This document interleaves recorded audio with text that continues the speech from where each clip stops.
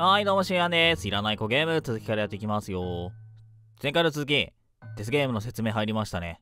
多分もう始まるはず。いきます。はい、えー、っと、来ました。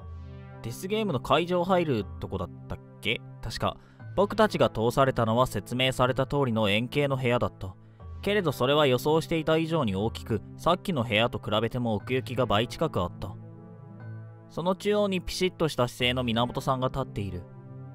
真ん中が随分広いんですね。同じことを考えていたのか、野々山くんがそう口を開く。演習に部屋を配置する関係でどうしてもこの程度の広さは必要になってしまいまして、ゲームに参加する皆様が快適な環境を作るのも私どもの務めでございますから。ただの感想かもしれないのに、今節丁寧に返答する源さん。そして彼はそのまま中央で僕たちを見据えると姿勢を正してこう続けた。それでは先ほど説明させていただきました通り、これから皆様には各種小部屋へ入っていただきます。神々。条件の差はございませんので、どうぞお好きな部屋にお入りください。ゲームの開始に関しましてはアナウンスさせていただきます。まだ始まんないか。そう言われても中央先陣を切って部屋に入っていく人はいない。中央先陣じゃない。なかなかだよ。シアンやばいぞ。なかなか先陣をね。え僕は説明時から全然話せていない吉住さんが気になってこっそりと近づいていく。大丈夫？不安でしょうがないでしょう。僕が話しかけるとじっと下を向いていた吉住さんがこちらを向いた。はっとしていつものように笑顔を向けてくれるが、それもちょっとぎこちない。ああ、うん。ちょっといきなりいろんなこと言われたから戸惑っちゃって。そうだよね。1億円だなんて本気なのかな？私は触ってないけどみんな本物だったって言ってたよね。でもそれだとペナルティって何なんだろう？高額な賞金とペナルティそれが気にならないと言えば嘘になる。けれど吉住さんの不安を煽るのは僕の本意ではないのであえて気楽な姿勢を見せた。大丈夫だよ。クジラ岡先輩の言う通りにずっと自分の名前を書いていればいいんだからそんなうまいこといくか？あれが終わった頃には僕たち大、えー、間違えた大金持ちになってるかもよ。それに、その、もし何かあったら、その僕がまた何か言ってるぞ。けど調子に乗って格好つけようとしたところでゴニョゴニョとどもってしまう。なんとも情けないことの、情けないことこの上ないが、ゆずみさんはそんな僕に、僕の様子に少し微笑むとこっそり耳打ちしてきた。すっげえ神々。ほんとごめんなさいね。ありがとう。じゃあ何かあったら瀬戸くんに助けてもらおうかな。任せて。うん、任せておいて。おい、和臣。何？みんな入り始めてるぞ。マジか。吉住さんのセリフに、で、ちょっとテンションが上がっていた僕は、アキラの声で現実に引き戻される。見るともう半分くらいの人たちが部屋の中に入ったのか、姿が見当たらない。ああ、ごめん。僕も行くよ。アキラはどの部屋にするの？ああ、あの辺りがまとまって空いてたからそこにするか。オッケー。吉住さんもどう？うん、そうする。隣同士の部屋の方がなんとなく安心するし。隣の方が安心するという言葉をちらっと一瞬僕を見て口にした吉住さんに僕は改めてテンションが上がっていく。両思いか？アキラが怒るぞ。それじゃあ俺はこの部屋にするわ。アキラが選んだのは入り口を6時としたら7時くらいの位置にある部屋だった。僕は計画、間違えた。僕は時計回りに隣の部屋。その次の部屋が吉住さん。それじゃあまた3時間後かな？長いね。うん、また後でね。そして僕らはドアをくぐった。おお、ドキドキするんですけど。お、2011年8月5日、16時25分、瀬戸和臣。パタンという音を立ててドアを閉めると続けてガチャリという音が聞こえた。確認してみると入ってきたドアノブを回してもドアが開かなくなっている。オートロックのようなものなのだろうか。さっきの部屋といい、この部屋といい、なんだか僕らを閉じ込めようとしている印象が強くなり、僕は少し不安を募らせる。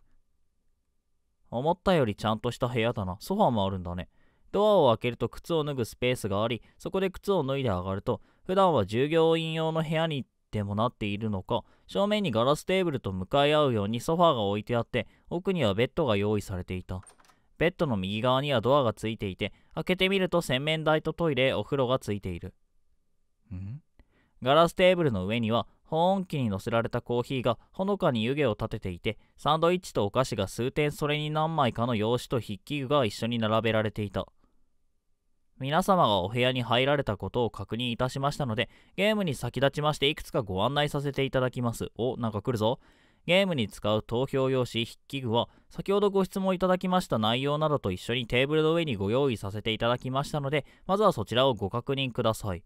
質問がございましたら、インターホンにてご質問いただきますようお願いいたします。インターホンはドア近くの受話器がございますので、そちらをお使いください。うん。質問がなければ5分後に投票開始の馬をアナウンスいたします。なおドアはこちらで鍵をかけさせていただきましたので、あらかじめご了承願います。音割れのないひどく明瞭な音質で、源さんの声が室内に響く。お？テレビフル。見るとスピーカーはテーブル近くの壁の上の方に液晶と思われるディスプレイと一緒に設置されている。あ、ディスプレイか。だったら大丈夫か。そんな古くないかも。源さんのアナウンスを受けて僕はソファーに座って並べられた用紙を眺めてみる。言葉通り中には投票用紙が入っていた。数えてみると23枚ある。予備が5枚。そんなにあるんだ。また、え、じゃあそんぐらいゲームやることになるのかなもしかして。怖っ。またさっきもらったのものとは別に、ルールの説明書書きと僕たちの顔写真入りの名簿が1枚、質問した内容とそれに対する答えが同封されていた。僕らが相談している間に作ったのかな？そんなことをぼんやりと考えながら、次にドアへと近づくと、ドア目線のところに縦10センチ、横20センチ程度のガラス部分があった。んこれが質問の時にあった覗き窓っていうやつなんだろうか。そこから見れるの？叩いてみると重い音がするので、相当分厚いように思えるのだけれど、クリアーに円形の部屋を見ることができた。お、マジか。お、源っちがいる。部屋の真ん中には源さんが立っていて背中で手を組んでいる。公平。他にも奥の部屋のドアなんかは確認できたけれど、遠すぎて覗き窓のところに誰かいるのかとも、えー、誰かいるのかどうかまではわからない。あ、これで、絶対サッカーいちゃいいそうな気がすんだよな、最初に。だってね、安城先輩の、違うな、長島先輩の浮気相手だもんね。浮気ではないのかな。まあ浮気みたいなもんか。ドアの中よりやや下のところには古い時代のマンションやアパートの郵便受けのようなものがついていて、そこに2から3センチの引き戸がある。開き戸か。どうやらそこが投票用紙入れになっているらしかった。ドアを前にして左横に電話機型のインターホンがついている。一回ガチャリと取り上げてみるとコール音が鳴り出したので慌てて切った。すぐ繋がるんだね。やっぱり開かないよね。ドアノブを再度回してみたけれどドアは開かないばかりか鍵の隙間分動くといった動作すら見せない。どうやら相当しっかりと施錠されているらしい。錠前はノブの下についているものの試しに回そうとしてみてもピクリとも反応しなかった。ご質問ございませんでしたのでこれよりゲームを開始いたします。来た皆様のご検討をお祈りいたします。するとスピーカーから再び源さんの声が聞こえた。ゲーム開始。つまり僕はこれから投票用紙に向かわなくてはならないわけだ。テーブルの上の投票用紙を1枚見ると僕は高そうなボールペンを使って自分の名前を記入する。瀬戸和臣。名簿なんて見る必要もない。書き慣れた僕の名前だ。そしてそれを四つ折りにするとドアの投票箱に投函した。あら、運営はなんか妨害とかしてこないんだ。作業自体は1分もしないで終わってしまうので、僕は途端に手持ち無沙汰になってしまった。せっかくなので用意されたコーヒーとサンドイッチに手を伸ばす。毒とかないか？プレスハムや安いプロセスチーズなんかじゃなくて、しっとりとした肉感のあふれるローストビーフらしきものがたっぷりと挟まれたそれは、ここまでの食事同様相当に美味しい。豪華だな。いいな。食べてみたい。けど、本当に、本当なのかな？そして暇になってしまうとついつい物事を考えるのが人の差がで、僕はさっきからたびたび疑問に思っていたことに思いを馳せる。うん。1億円、額が多すぎていまいち実感がつかみづらいけれど、それくらい僕らには疎遠な数字だ。それがこんな簡単なゲームで手に出てゲームに出るだけで配られる。絶対ありえないよね。普通ついていかないわ。常識で考えれば信じられないし、冷静に判断すればクジラ岡先輩のいたずらの可能性の方が高い。けれど、こんないたずらをしたところでどんなメリットがあるかというと、それもまた考えつかない。これだけ大掛かりな施設を使う割には目的が見えないのだ。例えば必勝法というものを提示しないで、みんなに本気でゲームをやらせるというのなら、なんとなくわからないでもないけど、実際に僕らがやるのは、ただ自分の名前を書いて投函するという単純作業なのだ。3時間もかけてそんな作業を続けたって面白いことも何もありはしない。どちらの側から考えても疑問は残ってしまい信じるにも信じないにもすっきりしないただもしかしたら大金持ちになれるのかもしれないという漠然とした期待だけは僕の中にあるらしくああまあわからなくもないけどねその気持ちは。さっきからなんとなく落ち着かないのも事実だ。うん。投票を全員確認いたしました。あ早いね1回目はこれより回収に伺いますのでご希望の方は室内のディスプレイないしは覗き窓よりご確認ください。サンドイッチを23口つまんだところでスピーカーからそんな言葉が聞こえてきた。もう10分も経ったのかと思って携帯を確認したけれど、どうにもそんな感じはしない。あ、じゃあすぐに集まったらもうすぐ始めちゃうんだね。もしかすると投票箱に投票を感知する装置でもあるのかもしれない。うん。お、やるぞ。見ればディスプレイにどこかの扉に近づいていく源さんの姿が映っていた。どこの扉？気になって覗き窓のところまで行くと、実際に源さんが右奥の方のドアを何やら探っている。どうやらディスプレイは外の様子と連動しているらしい。源さんはテキパキとその作業を進めていくが、さすがに多少の時間がかかる。これだと投票の時間が短縮されても3時間じゃ終わらないかもしれない。毎回全員分開いてたらね。少の、えー、少しの時間を得て僕の部屋から、ん？部屋のドアからガコンガコンという音が聞こえてきた。あ、回収したんだね。どうやら源さんが僕の投票用紙を回収しているらしい。覗き窓を見ると回収が終わった源さんと一瞬目が合いドキッとする。声、回収が終わりましたのでこれより開票させていただきます。そして源さんは円形の部屋の中央に立つと一枚一枚用紙を開いていく。なんだか微妙な不安を感じた僕は覗き窓からその姿をずっと眺めていた。終了いたしました。室内の掲示板にて結果をご報告いたします。その声を聞いて僕はドアから離れてディスプレイを見上げる。となるどういう形式なのかと思っていると空白の得票数と書かれた画面が現れた。は？僕が首をひねっていると画面が切り替わり口元をパクパクさせている源さんの姿が映される。何か不備でもあったのだろうかということ？時間だけが流れる中、画像は元の空白の順位表に戻り、スピーカーから源さんの声が聞こえてきた。え？ご質問がございましたのでご説明申し上げます。うん。ただいまのゲームにおきまして、1位の方が同一票を獲得いたしましたので、今回の脱落者はなし。あっけねえな。また2票以上獲得の方がおりませんため、得票数の掲示板も空白となっております。あ、そういうこと。その声を聞いて僕はなんだか肩の力が抜けた。クジラ岡先輩の予定通り、自分たちの名前でも脱落なしで通ったらしい。ほん。そんな安直に終わるわけないでしょ。それでは第2回戦を開始いたします。これ第1回戦回避したってことは、18回やるゲームのうちの1回目が終わったから2人生き残れる可能性があるってことかな？今んとこ。子供投げに1ゲーム目は通ったことで僕は随分軽い気持ちになっていた。アナウンスが入るなりさっきと同じように自分の名前を変えて四つ折りにして投票箱に投函する作業芸になってんだけど。あとはみんなの投函待ちだ。今の感じではそうかからないだろう。僕はさっきのサンドイッチの残りを口にしながらアナウンスを待つ。誰かがふざけて他の人に入れんのかな？どうなんだろう。投票を全員確認いたしました。これより回収に伺いますので、ここら辺も一緒だな。同じ工場を繰り返している。結果は、結果は、空白の順位表。なんだこれ。第3回戦回数。で、これで残り3人生き残れることになったのかな悔しそうに聞こえるのは僕の勘違いだろうか。けどこれで僕らの必勝法に間違いないことが確定した。あとこれを16回。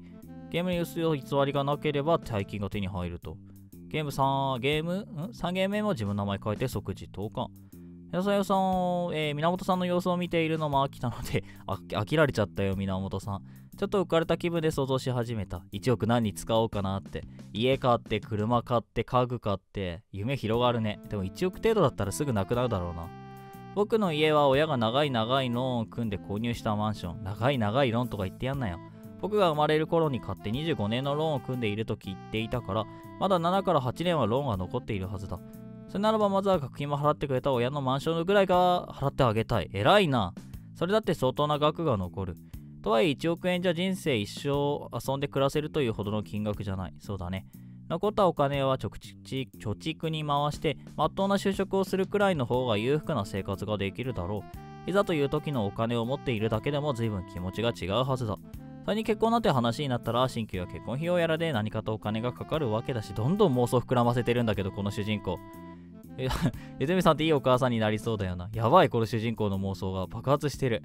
安城先輩みたいに派手な恋愛遍歴を持つ女の人なんかだと、恋愛と結婚は別なんて言い出しそうだけれど、吉住さんはどう考えたってそういうタイプじゃない。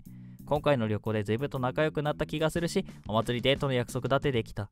このまま付き合えることになったらやっぱりそういうことも考えていくことになるんじゃないだろうかもうこれな主人公こんな浮かれてるけどなどん底に落とされるんだろうなしかしこのままいけばお互いお金持ち同士だ経済面は全く心配いらない働かなくていいんじゃね？お投票全員確認いたしました今回もやはり何分もかからずにアナウンスが流れたどう？これでもうクジラ岡先輩のいたずらだったら目も当てられないな悲しいね妄想を遮るように入ったアナウンスに僕は少し冷静になって苦笑した。苦笑いした。期待が大きいほど引っかかった時悔しいものなので、ほどほどにしておこうと僕は思う。ほう。終了いたしました。切り場で結果をご報告いたします。おう、3ゲーム無事終わっちゃったな。気楽な気持ちで携帯をいじり始めた。3ゲーム目も終わったから、4人生き残れることになってんのかな？今んとこ。うん。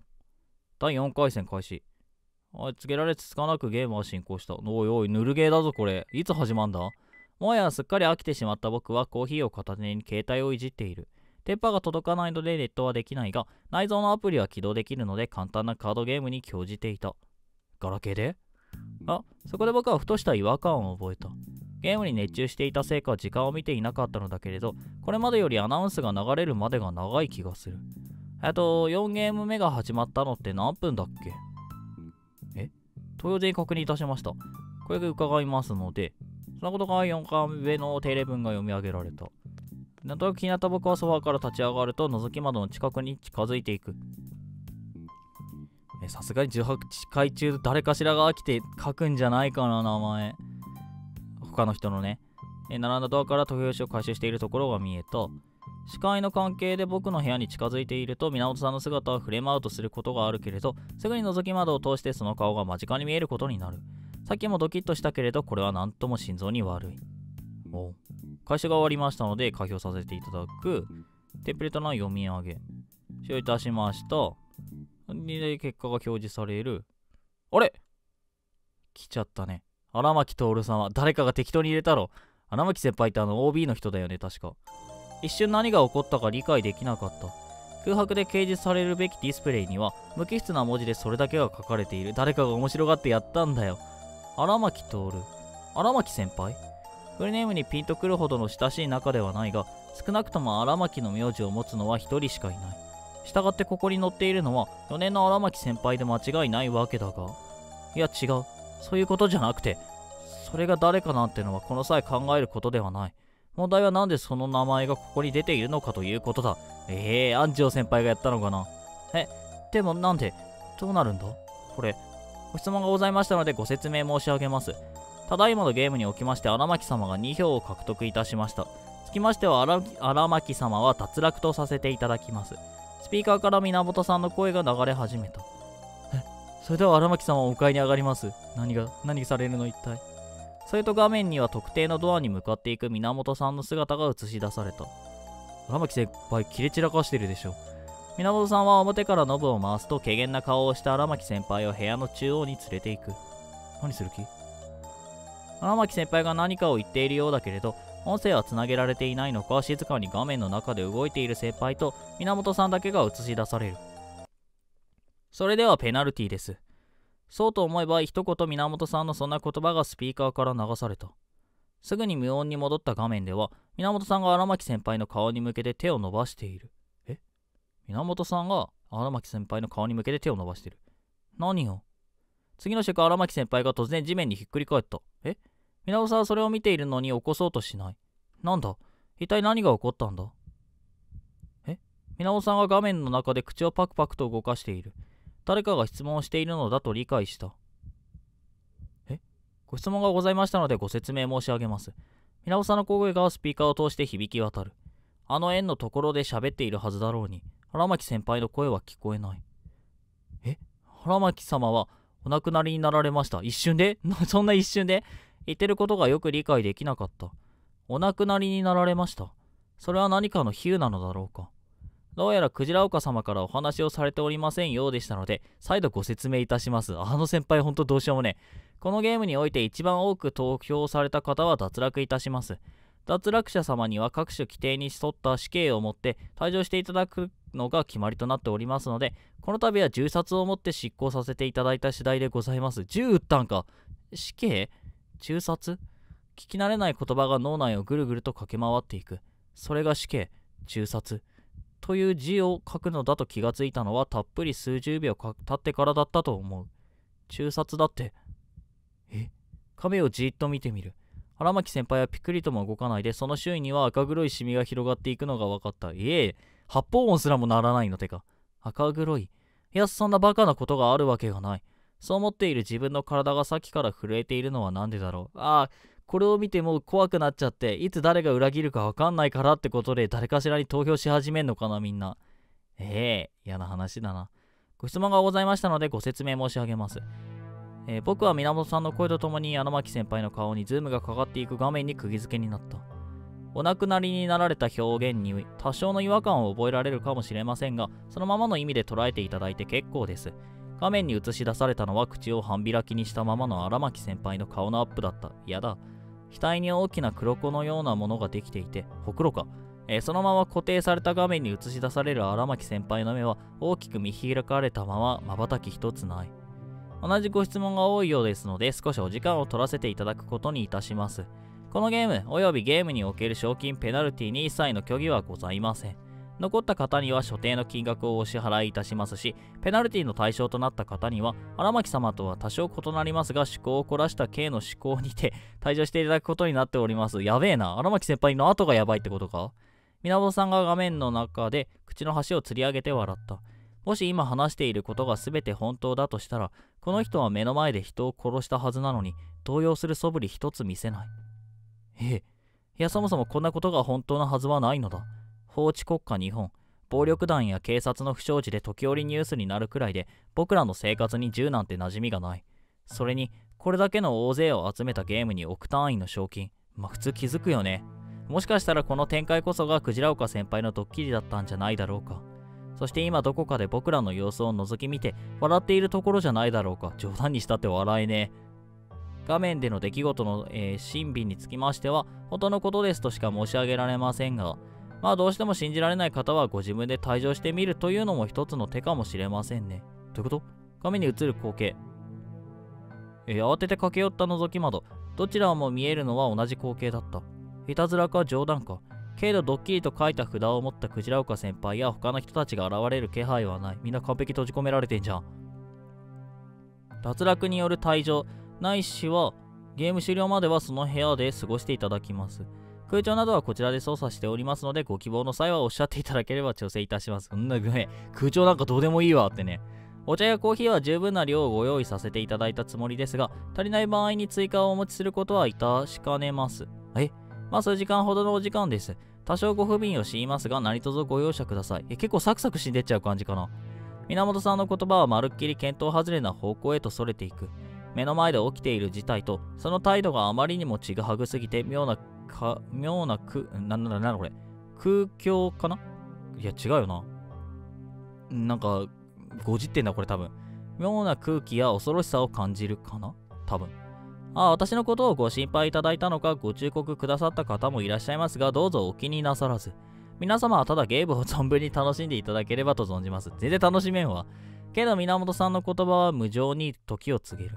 それでは第5回戦を開始いたします。うわ、これ誰がどう投票するかでしょ、こっから。5ゲーム目の開始の合図が告げられたと僕は今までのようにすぐに投函するということができずにいた。それどころか僕のペンは名前を書く欄の上で止まったままだ。冗談だよな。冗談だよな。動かない荒牧先輩と殺したと告げる源さん。普通に考えれば馬鹿げた話だし、到底信じることなんてできない。他の友達と連絡取れないのがしんどいよね。けどこれが本当だったら、低価格で去年よりずっと豪勢な合宿、所在地不明の行き先、ペナルティの説明を遮ったクジラ岡先輩、1人1億という途方もない金額の賞金、すべてを加味すると、これが本当のことなんじゃないかという気持ちも拭えない。そしてそれは同時に僕の手から記すべき名前を奪っていく。これクジラ岡先輩書かれんじゃん名前。脱落するたびに本当に人が死んでいくのだとしたら、僕たちはたった一つのルールを胸にゲームに参加した。自分の名前を書く。もうここ守れないでしょ、こっからは。けど荒牧先輩は脱落した。得るはずのない2票。あ、クジラ岡先輩がわざと入れたのか。で、不安を煽るために。いややることが汚ねえな、あの人。2票得てしまった。それはつまり誰かが自分以外の名前を書いたということになる。荒牧先輩の票だけが2票分としてカウントされたというバカな話でもない限りそれは分かりきったことだ事故であったとは考えられない自分の名前を書くというか決め事であって今までそれで進行していた以上他人の名前を書くなんていうのは意図しないでできることじゃないだとすれば5回目のこのゲームその誰かがまた自分以外の名前を書く可能性がないなんてことは言えないそしてそれがもし僕であるならば次は僕がペナルティの対象になる可能性があるのだ。いや、怖い、怖いな、これ怖いな。銃殺に死刑、そんなバカなことが。笑って受け流してしまえばいい。もう一度仕切り直して自分たちの名前を書き続ければいい。ゲームが終わったら、きっとネタバレの説明があるだろう。いや、書くか？俺書けねえな、多分。そう何度思っても僕の手は僕の名前を書けない。本当だったら死ぬ。冗談みたいな可能性のために、その簡単な作業に踏み切れない。どうする？どうすればいい？けど、わからない。冗談か本当か、その区別さえつかないのに、決断なんてできない。残り1分になります。あ、やべえその時初めて聞くアナウンスが僕の部屋に流れた。残り1分。誰の名前も書かずに投函した人間は強制的に脱落となる。なんて書くの？当てで僕はペンを走らせて、掴んでドアに向かった。くそ、うまく折れない。え？誰の名前書いたのお前？問いを全員確認いたしました。今度は聞き慣れたアナウンスが流れた。なんだか心臓がバクバクしている。会社が終わりましたので、これより開票させていただきます。結局僕は散々悩んだ末に自分の名前を書いた。うわ、勇気あんな主人公。もしかしたら自分が余計なことをしたせいでまた誰かがペナルティーを食う可能性だってあるのだ。万が一のこととはいえ、もしこれが本当だった時のことを考えると、そんなことはできなかった。何度も聞いた、えー、テンプレートを得て、ディスプレイに結果が映し出される。大丈夫だ。さっきのはただの間違いだから。終了いたしました。室内の掲示板にて結果をご報告いたします。おいえ、お安城先輩だ。クジラ岡先輩にも集まってる、やっぱ。もうダメだな。しかも金田さんにも入ってるんじゃん。誰入れたの？けど僕の期待はあっさりと裏切られた。ディスプレイに表示されたのはよく知る3人の先輩の名前。その表、得票は女王安城先輩に多く集まっていた。それでは安城様をお迎えに上がります。なお、先ほどの補足というわけではございませんが、マイクは切らずに進めさせていただきます。おっと？今回は声入りってこと？ガチャリという鈍い音がして画面の中のドアが開けられた。源さんが中に入っていくと安城先輩の金切り声が聞こえる。だろうな。ちょっと、勝手に入ってこないでよ。変質者。やめて。触んないでよ。訴えるわよ。得票の確定をしていただきます。こちらに用意していました。6票間違いはございませんか？は？何言ってんの？あんたちょっと頭おかしいんじゃないの？得票だかなんだか知らないけれど、私もう帰るから。こんなと、え、違った。バカなイベント付き合いきれないわ。どいて。やばい。構いませんが、果たして出れますでしょうか？じゃあ次、クジラ岡先輩だよね。これ行くの確実に。え、金田先輩に集まる理由が謎なんだけど、誰を入れたの？音声だけが届いていた中、部屋から飛び出してきた安城先輩が画面に映し出される。途中央の荒牧先輩の前で立ち止まった。え？トール、冗談よしてよね。何？振られた腹いせ？ちょっと、目開けなさいよ。ねえ、クジラ岡、どっかで見てんでしょ？もういい加減にしてよ。響いてくる安城先輩の声は震えている。僕はその後ろから近づいてくる源さんの後ろ、え？源さんの姿に思わず声を上げた。え？ですから言葉のままだと申し上げましたが、笑ってる。めっちゃ笑ってる。やめ、こんなの立って、私何も悪いことなんかしてないでしょ。なんて、やめてよ。何向けて。あ、銃か。泣いてるじゃん、女先輩。何すんのよ。ちょっとやめてってば。嘘助けて。何これ。やだ。源さんによって、薄茶色の袋を首からかぶせられた安長先輩。え？普段聞いたこともない、想像したこともない愛玩の声が彼女の整った顔と一緒に袋の中に閉じ込められた。何する気？撲殺？僕が呆然としていると源さんのそばへとどこからか使用人たちが現れる。異常な状況を目にしているはずなのに彼女たちは表情一つ変えずに安城先輩へとにじり寄っていく。何が起きているか理解できないのか、それとも純粋な恐怖からなのか、手足をめちゃくちゃに振り回して暴れ続ける安城先輩を従業員たちは肩、腕、背とそれぞれ一人ずつ押さえつけ、まるで映画で見る罪人のようにひざまつかせた。それでも安城先輩が体をねじり首を揺らし、白い細腕をこわばらせて抵抗し暴れても、使用人はひどく冷静に彼女を抑え込み続ける。一体何を？え、フープ、フオーって言ってるよ。窒息？ディスプレイ越しに聞こえる声は意味不明なうめきとなって室内に響き渡る。その後ろで源さんはどこか悠然とした動作で安城先輩の背中を見下ろすように陣取った。その所作がどこか大げさなせいか、演劇か何かのワンシーンを見ているような現実離れにした感覚がこびりついていて、今、目の前で映し出されている行為が何であるのかうまく理解ができない。何する気？下手に暴れるとうまくいかずかえって苦しみますよ。え？そんな頭の中のもやを振り払うように聞こえてくる意味のわからない言葉、殺戮王だなも。見れば背後から袋の中の安城先輩の耳元とおぼしき場所に顔を寄せながら、源さんがコイントスのように握った手のひらを合わせて、左右に引っ張るような動作をしてみせた。ああ、首絞めてんだ。あ、む、うわ、ちょ、ちょ。直後源さんの手が安城先輩の頭を一周した。え？するとピタリと今まで暴れていた彼女の動きが止んだ。スピーカーから届く動物の鳴き声のようなくぐもったうめき声も動きと合わせるように聞こえなくなって不自然なまでに室内が静まり返る。拳に汗がにじみ、口の中が乾き、息をすることを忘れていたことにようやく気づく。吐き出した息と一緒に目の端が何かを捉えた。え、首切ったのか？再び画面に目を、え？画面に目を移ったとき、僕は絶叫した。え？源さん従業員安城先輩。みんなさっきと寸分たがわない場所にいる。首があっているはずだった。けどたった一つ安城先輩がかぶっていたはずの袋だけが本来あるべきところから少し離れたところへと転がっていた。もうちょ、やだこれ。いや違う。本当は分かっていた。だってあるべきはずのものがどこにもないのだから。袋の下にあったはずのあの気だるげな表情をいつも見せていた安城先輩の首から上が何も何もないのだ。目が追ってしまった。そして理解してしまった。なくなってしまったものが、あるべきはずのものが、どこに行って、どこに落ちてしまったのか。あちゃ。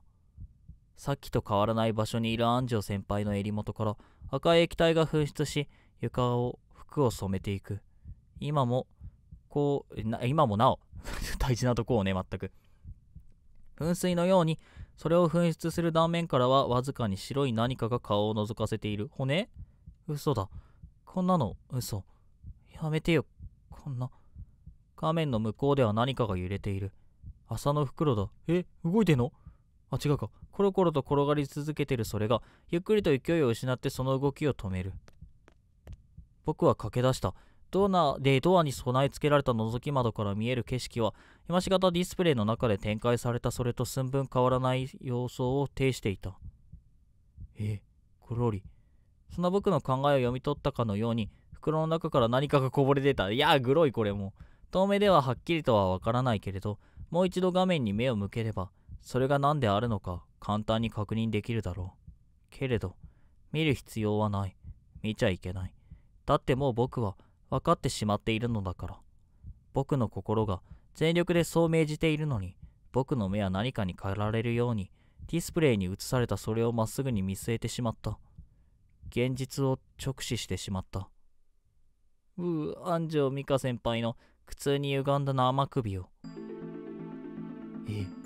閣内でもトップクラスの美女として名高かった彼女の面影はもはやそこにはなく、瞳からは涙が、整った鼻筋からは鼻水が、やだやだこれも。化粧で彩られた口元からは赤色の混じったよだれが垂れ流され、グロいだけど、化粧越しでもわかるほどに青白く変色していく肌が、いつもの安城先輩からは想像もつかないほどグロテスクな様相をむき出しにしている。は亀の中で首を失った安城先輩は荒牧先輩と折り重なるようにして倒れていく。もう死体放置かよしかも。従業員は転がった頭部をためらいなく拾い上げその体のそばにまるでゴミでも投げるように放り投げ振り返りもしないで去っていった。その横で源さんは何事もなかったかのように襟を正しそしてこう言った。安城美香様はお亡くなりになられました。いやーなんかすぐ死にそうな気はしてたけど全身が痙攣しているのがわかる。呼吸をどうやってしたらいいのか思い出せない。やっとの思いで心臓を落ち着けると、僕は汗びっしょりのままその場にへたり込んだ。絶望しかないよな。信じられるとか、信じられないとかじゃなかった。え次、クジラ岡先輩でしょ。で、金田先輩行っちゃう可能性もあるんでしょ。う。やだ。そんな悠長なことなんて言ってられない。これは紛れもない現実で、僕らの目の前で荒牧先輩と安城先輩は殺されたのだ警察警察に電話が繋がないんだよな。だよね。知ってた。さえつけのインターホンを手に取る。あこれ最初の冒頭じゃないもしかして。どうなさいましたか？どういうことなんですか？人殺しなんて許されることじゃない。だね。一緒だね最初と。考えれば道理の合わないセリフを吐いているものだとは思う。衝撃的な事件ならまだしもこれだけ計画的に行われた殺人に対して自首しろなんて話が通じるわけがない。ご心配なく。事後処理に関しましてはこちらでななんて読むんだこれ？よしなく行わせていただきますそういうことじゃなくて人二人も殺しておいて何も感じないんですか？うわそんな理論通らないよね何もとおっしゃられましても私はただのゲーム進行役ルールに沿って仕事をしているに過ぎませんそこに市場を挟む余地は特にございませんな。冷静。案の定ピントのずれた答えが返ってきた。どうやらこの人の善意や道徳といった人間らしい何かに訴えかけるだけ無駄らしい。生徒様、老婆心ながら申し上げますが、そんなことよりもごち、え、ん？ご自分の心配をなさった方がよろしいかと存じますが、だよね、投票されたら終わりだしね。どうやらまだ危機感が足りていらっしゃらないようですので。あ、え？何だ ?11 の2で、えっ、ー、と、11の、11、13票入ったってことでしょ？だから5人、4、5人、あなんだ、うんま、わかんなくなっちゃった。とりあえず4、5人は自分の名前書いてるけど、他の人たちは他の人に投票したってことなんだろうな。何がおかしいのか小さな笑い声がインターホン越しに聞こえる。僕はカッとなってそれを叩きつけた。直後次のゲームの開始のアナウンスが流れる。もうサクサク死んでいくな、せっかく19人いたのに。前振りあんな長かったのに。それでは第6回戦を開始いたします。ふざけてる。こんなの。ゲーム脱落と同時に死人が出る。そんな馬鹿げたゲームを本気で最後までやりきるつもりらしい。俺はガラステーブルに両手を叩きつけた。けどドアは厳重に封鎖され、しかも外には拳銃を持った源。逃げらんねえ。もう殺人犯にさん付けはやめよう。えー、源にその仲間と思わしき従業員たちがいる。ここから逃げられない以上、僕には選択肢は2つしかない。ゲームを続けるか、それとも危険して脱落するかだ。もう続けるしかねえ。脱落する？誰の名前も書かずにただ時間が経つのに任せれば、僕はこの部屋から解放される。けれどその先に待つのは、荒牧先輩と安城先輩が辿った道と同じ。またしかも違うパターンで殺されるんでしょう。死ぬなんて考えたこともなかった。僕のおじいちゃんは生まれた時にはすでにいなかったし、他の親戚や兄弟も全員健康そのものだ。友達で交通事故に遭った人はいたけれど、少しの入院で退院してきた。死ぬのはドラマや映画の世界中の話で、ん？世界の中の話で、それももっと綺麗で感動的なものだと思い込んでいた。あ、これ最初の時と一緒だな、言ってることが。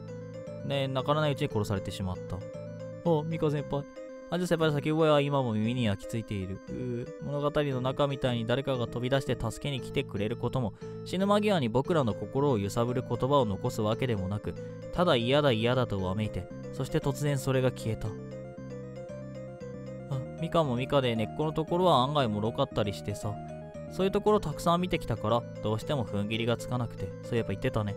昨日照れくさそうに話していた長島先輩のことを思い出す。今何を思ってんだろうな、先輩。彼は今何を思っているのだろう。またクジラ岡先輩の冗談だと思っているのだろうか思ってねえだろうな。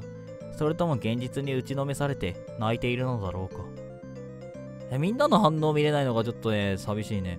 さっきまで止まっていた震えが再度僕を襲う。両肩を抱くようにしてそれを抑え込みながら、源の言葉をリフレインする。リフレイン？ちょっとかっこいい。期間が足りていらっしゃらないようですので。そうだ、死ぬのだ。ここで名前を書かれるということは僕が同じ目に遭うということだ。僕だけじゃない。吉住さんもアキラもサークルのメンバーも。これから一番多く名前を書かれるたびに人が死んでいくのだ。まあでも次は絶対クジラ岡先輩だよね。さっきよりずっとペンが重く感じた。この選択一つで考えたくもない未来が待っているかもしれない。それでも書かなければ死ぬのは僕だ。それはできなかった。誰の名前書くの？あ、だよね。ごめんなさい、クジラ岡先輩。もう自分の名前は書けなかった。けれどだからといって誰かに死んでほしいなんて思えない。誰がこの予定調和を崩したかだよね。やっぱクジラ岡先輩かな。お金をできるだけ多くもらおうとしているのか。ただ最後にたどり着いたのはこの人の名前だった。だろうな。僕が入れなくてもどうせクジラ岡先輩は助からない。本当にそう思っていたら自分に入れたって構わないはずだ。ま、まさかまだ他にルール隠してんのかな？クジラ岡先輩。ありそう。だってわざわざね、自分が投票されるリスクを背負うかって感じだよな。怪しいな。たった一票の差で全てが終わってしまうこの現実に対して、僕はそんなわずかな恐怖にすら打ち勝てなかった。あ、終了いたしました。下の掲示板にて結果をご報告いたします。どうなる？回収が終わり、そしてディスプレイに結果が知る、えー、灯された。二人？ああ、だよね。ちょ、な、なんで金田さんに2票入ってんの？誰よ2票入れてんの？クジラ岡俊二様。え、どうなんだろう？でも時間もちょっといいとこまで来たので、今回はここまでとさせていただきます。もしこの動画の続きが気になるようでしたら、ぜひぜひチャンネル登録、またはコメント評価いただけたらとても嬉しいです。ちょ、金田さん次行きそうだよね。怖いんだけど。それではシアンでした。またね。